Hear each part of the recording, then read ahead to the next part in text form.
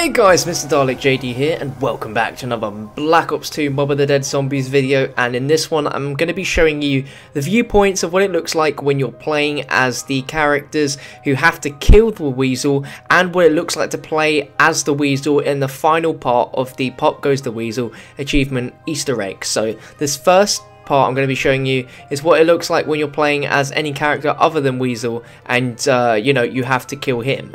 And so you revive your character. Uh, as you can see, we had four scores uh, on the right, and now we've only got three.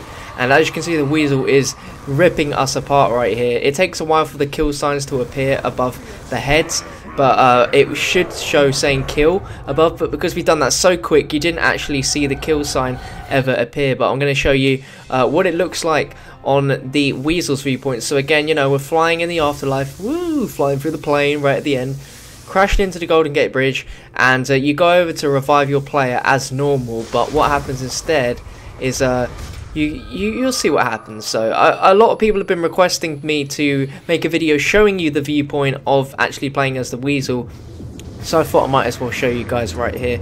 And uh, I wasn't playing this game, this was uh, a game with Dave, so I want to say cheers Dave for letting me see your viewpoint. This is Mr. Dave the Rave. Be sure to check him out on YouTube, he's a great guy. As you can see, the scoreboard just shows Weasel like as if you're playing solo. And uh, now is the time that when you're the Weasel, you kind of want to kill everyone. So uh, we've got one player down already. That's cool. Just using the blundergat, you know, just going, just going crazy.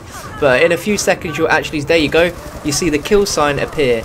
Now the Weasel character doesn't look any different apart from these three kill uh, signs above your head, or two.